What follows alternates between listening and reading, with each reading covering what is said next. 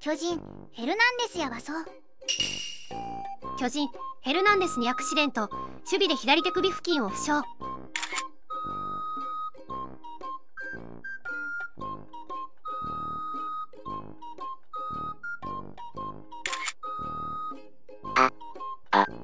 あかん。あ、松井やん。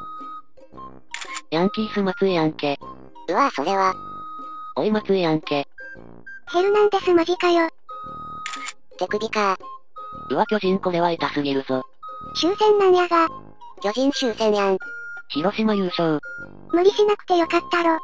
それいらんかったやろ単打はよかったんよ。これは痛いな巨人さん。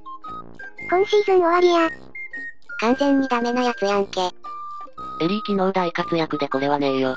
シーズン終了の危機。ガチでやばいやつやん。爆走ストレッチャーが事態の深刻さを物語る。松井がレフトでやったやつと同じかな。